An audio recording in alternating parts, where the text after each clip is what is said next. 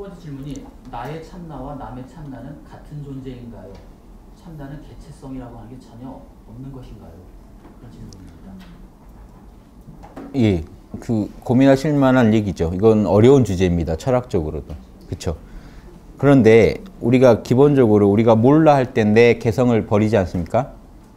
나와 남이 있을 때는 이 현상계라고 하고 나와 남이 있는 세계를 현상계라고 합니다.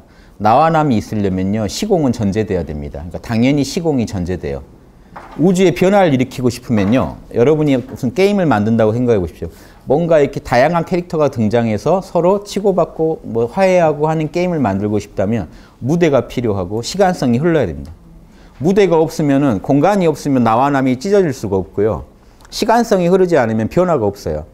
그래서 이 다양성과 이 변화성이라는 것은 현상계의 핵심입니다. 그래서 이 우주가 만들어질 때 시공이 펼쳐지고 나와 남이 생겨서 변화하는 과정에서 예, 대립하기도 하고 조화를 이루기도 하고 하면서 우주가 변합니다. 여러 모순을 통해서. 그래서 이 모순이라는 것도 우주의 생명이죠. 음양이 모순, 음양은 음은 양을 용납 못하고 양은 음을 용납 못합니다. 그러면서 이 변화가 일어납니다. 우주가. 둘이 화해하면 우주가 끝나버렸겠죠. 그런데 묘하게 이해 안 되게 만들어놨어요. 그러면서 우주의 그러면서 하나님의 양면을 다 양쪽에서 하나씩 보여주면서 이렇게 조화를 이루기도 하고 또 대립을 이루기도 하면서 굴러갑니다. 그래서 이런 이, 이런 이런 정도로 우주를 보시면요, 그 현상계에서 나와 남이 나눠야 되고 각자 각자가 스스로를 나라고 생각을 못한다면 이 현상계가 또 굴러가지 못하겠죠. 각자는 우주에서 각자 각자가 자기가 중심이라고 생각하고 움직여야만 변화가 일어날 수가 있습니다. 그래서 에고성이라는 건요, 이 신이 인간한테 좀 최고의 선물입니다. 나라고 하는 개체성을 주셨다는 건요, 신이 너도 하나님처럼 아버지처럼 너도 한번 네가 네거 경, 네 사업 경영해봐라 하고요, 분점 내준 겁니다.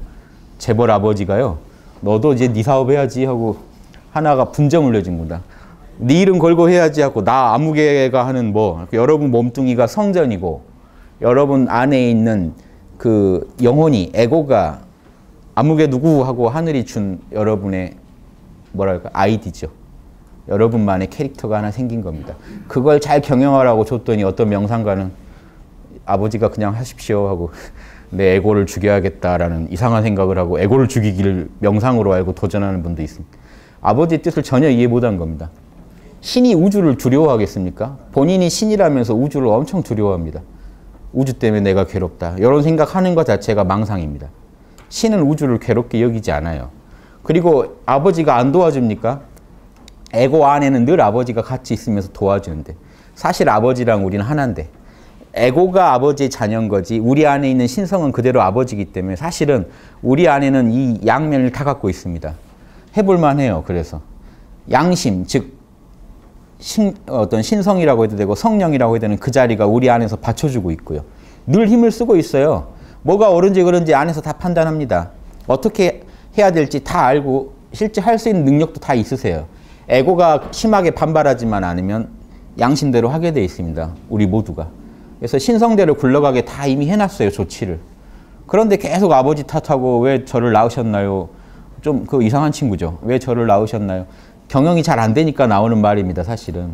근데 경영이 안 되면 경영하는 법을 배워야 되는데 아버지가 왜 나한테 이걸 맡겨가지고 날 힘들게 하고 왜 그 나는 절대 요구한 적이 없는데 에고를 만들어 달라고 막 이런 얘기 하고 계실 겁니까 계속 자기 안에 신성이 있다는 걸 모르고 부자 상봉이 있어야 돼요. 부자가 상봉하면요 아버지가 자기를 지원해 준다는 걸 몰라서 그래요. 아버지가 자기를 지원한다는 걸 알고 지금 이 순간도 전폭적으로 지금 지지해 주고 지원해 주고 있다는 걸 알면요 에고가 힘이 나서 주인공 의식이 생겨요.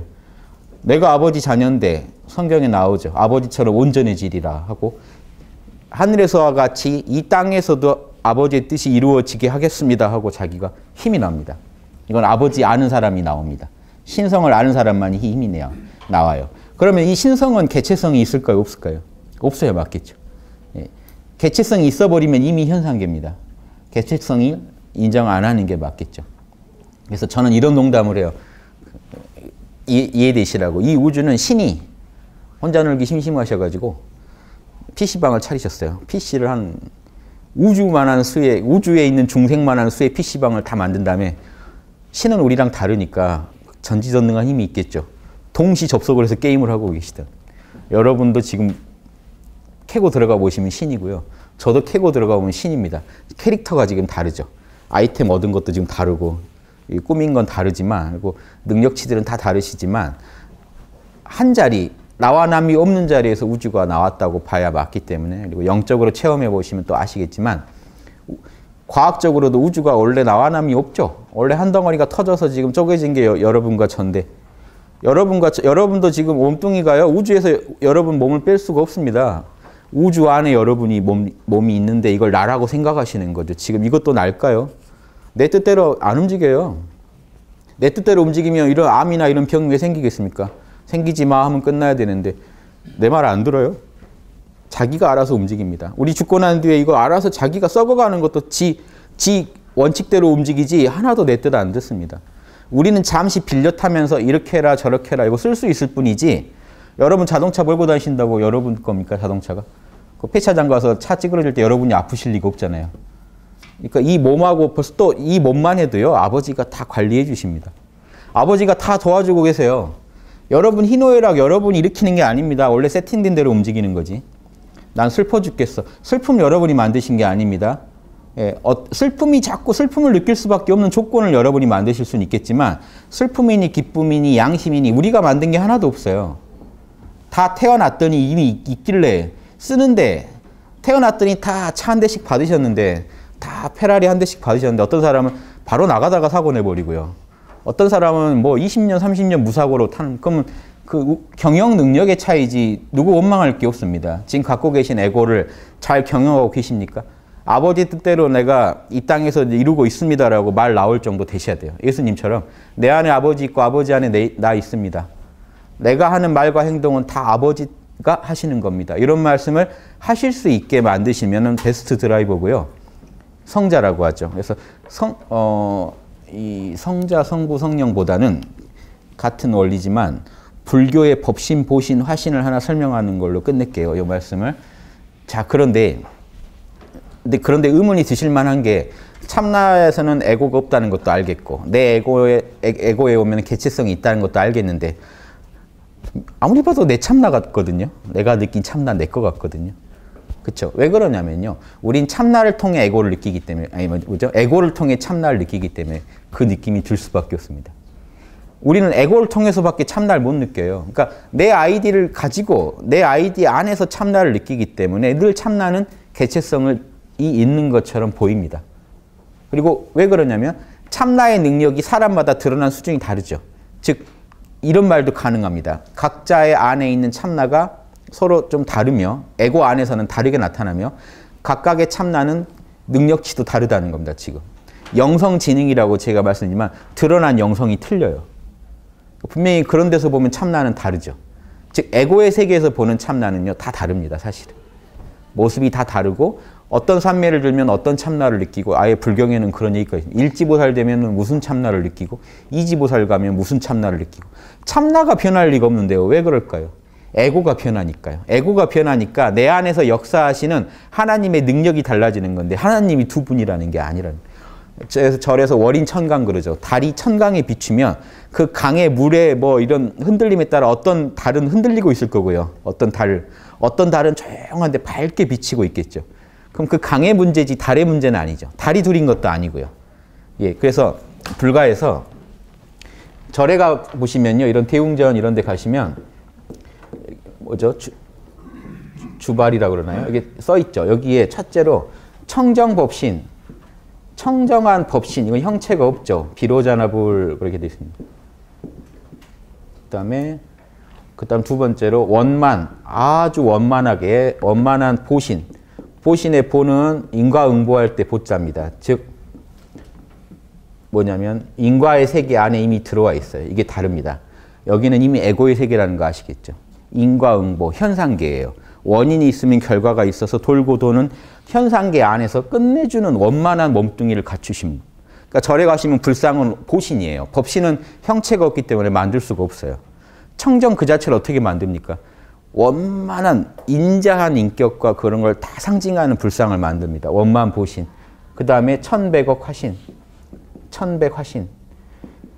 화신은 실제 몸뚱이가 있어서 우리가 만져보고 만질 수 있는 몸뚱이입니다. 1100억 화신 석가모니불 원만 보신 노사나불 한데 재밌는 게 힌트가 노사나불이랑 노사나라는 뜻이나 비로사나에서 비는 강조오기 때문에 사실은 같은 뜻입니다.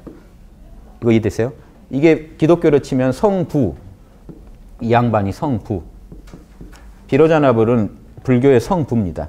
노사나불은 기, 불교의 성령이에요. 석가모니불은 화신 몸뚱이를 가지셨기 때문에 성자입니다. 우리가 육신으로 오셨어요. 이게 불교의 지금 기독교랑 똑같습니다. 법신 비로자나불이 현상계 안에서 원만한 보신을 드러내서 실제로 우리 몸뚱 성육신 이, 이 말씀이 육신을 갖춘 게 석가모니다라는 주장을 하는 겁니다. 근데 불교는 기독교는 예수님한테만 좀 이런 칭호를 많이 쓴다면 불교는 여러분 모두가 사실은 비로, 법신 비로자나불의 화신이라는 석가모니불만 이런 게 아니고 이해되십니까? 여러분의 내면에 캐고 들어가면 지금 게임 누구, 누가 하고 계신지 쭉 캐고 들어가면 만나는 거지. 그런데 여러분이 느낀 참나를 지금 보신이라고 그래요. 노사나불이라고 합니다. 여러분이 느낀 참나 아직 원만하지 않죠, 능력이. 저도 제게 원만하지 않아요. 다 각자들은 불만이 있을 겁니다. 자기 안에서 역사하시는 보신의 모습이 아직 원만한 보신은 아닙니다. 이해되십니까? 여긴 인과의 세계 안에 들어왔기 때문에. 즉, 달이면은 이게 강에 비친 달입니다. 성부가 성량이, 성령이 다른 이유가 성부는 우주, 우주 모두의 참나 그 자체, 우주에 존재하는 모든 참나, 한 참나가 비로자나불이라고 하고 여러분 에고 안에서 발견되는 각자의 내면에서 발견되는 참나를 노사나불이라고 하고 그거를 온 몸뚱이로 오온으로 구현하신 분을 우리가 석가모니를 여러분 여러분 한 분한 분이 사실은 부처가 되면 그런 부처가 되는 거예요. 이 정도로 개념을 좀 성부 성령이 다른 이유가 이겁니다. 성자는 육신을 가져야 되고 성령은 똑같은 참나지만 그, 성, 그 성자 안에서 작동하는 아버지를 성령이라고 하는 거예요. 그리고 우주 모든 법신, 불성 그 자체.